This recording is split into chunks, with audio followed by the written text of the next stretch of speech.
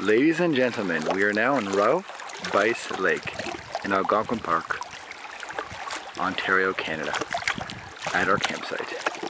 I'm going to try and give you a really quick tour. It's probably one of the better campsites you can find on this island.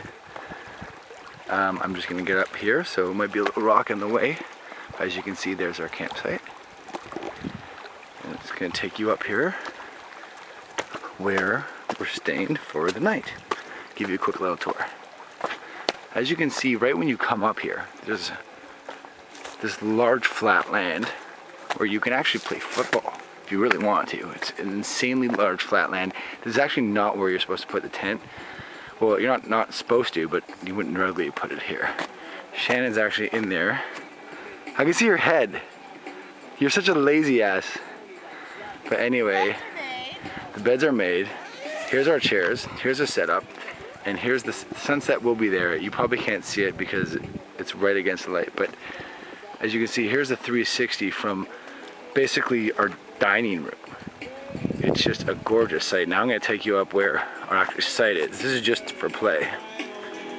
And as we come up here like I've never seen so much you can basically have a hole a golf hole right here maybe a par 3 100, 130 yards from the blues. But if we come up here it's a little bit dangerous if you're drunk at night, but take you up the rocks. And as you can see, this is the actual fire pit area. It comes with a great little grill. They actually have benches, which we don't need because we bring our own chairs, but they have benches engraved into the log itself. They have a little table. Inside the little table here, you can see log, which the nice gentleman left for us before. There's another bench over here. So again, just so you know, there's our tent. That's where the playland is for at night stargazing stuff. Look how gorgeous it is. And then back here, this is actually where you're supposed to put the tent. We didn't because we sort of want to stargaze.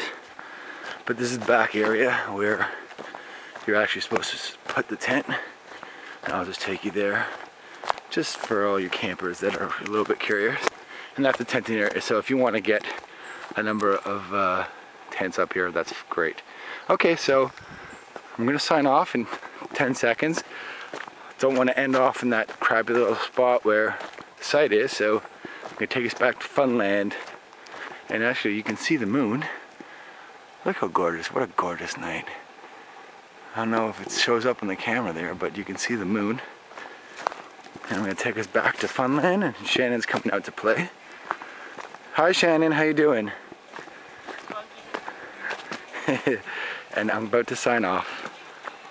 Ralph Bice Lake, Ontario, Algonquin Park.